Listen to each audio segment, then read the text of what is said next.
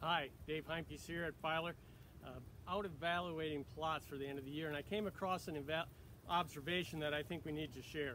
Uh, this year, uh, spider mites came in very late. Uh, honestly, for the most part, uh, going through the year, depending upon your location, of course, as I ran through the PNW, uh, some places they were much worse than others, but for the whole, man, I thought spider mites were relatively light, and then we got to the later part of the year, and boy, they came in with a vengeance. Uh, this happens to be a very late uh, product that we planted, a silage product. And, and what I think is interesting if you look off to the side is where we had some wheat. Westbred had their trials. So when the wheat came off and the mites, like they do everywhere, came moving out of that wheat as it matured and got cut into our corn. And they just came in with, like I say, with a vengeance. Came in a little late. Uh, as you can see behind me, we've got where they came in first. Look at how the progression, how short that corn is to just a few rows, how that came up. Now there's eight rows, border rows on the other side of that, so that's not an edge effect. That's mites. If you go in there and you look at it, uh, that whole crop is, or leaf canopy is all speckled uh, from the mites. Extremely bad. I, I, show you this just to show the difference that those mites make as they come in. They came in late, and uh, like I said, the later the maturing product, the worse it got hit. Uh, these are things we have to watch. Uh, I, I, pretty much thought we were in the clear with mites this year in a lot of areas, but boy, they absolutely hurt us pretty bad on yield in some areas, both in ear size on the grain guys, kernel depth. You add that with that smoke, it's really going to hurt us bad. And then, of course, silage, we lost that ear size and the height that we got on the other side.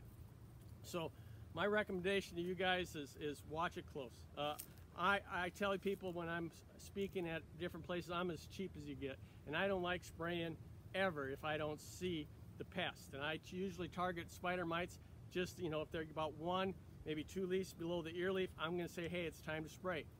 But this year they weren't there and then they came in late. Uh, and then as you get closer to maturity, you can oftentimes can hold off and not spray. It's kind of a race to the end. Who's going to win, the mites or you?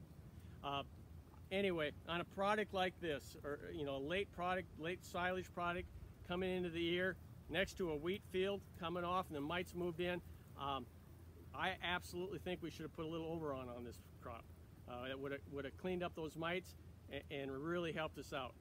When we're, when we're running into later applications of, of insecticides, miticides, always check to make sure your, your pre-harvest interval is there. Some products have a little longer pre-harvest interval and you won't make it on a silage chop. So always make sure you check that. The other thing I'm going to say about uh, spider mite applications is, is it's a very, very good thing to rotate our, our products. Um, if you've been using one product for, uh, say, three, four years, you know, come in with Oberon or something else, mix it up. Let's get a different product out there so we don't build resistance. Well, spider mites are, are nasty little buggers, and, and, and, they seem like, as, as uh, in certain areas, some of the old chemistries we're using, we're starting to see a little re resistance, and we're forced to use higher and higher rates of chemistry. So, again, uh, if you're not using Oberon, I would highly suggest putting it on. Always check your pre-harvest interval. And, and like I said, I, I pretty much stopped watching this. I thought we were out of the, the woods, and just look how nasty they, they came in and, and took that yield away. So something to watch for next year. Um, I'm going to start pulling the trigger on the mites a little bit sooner.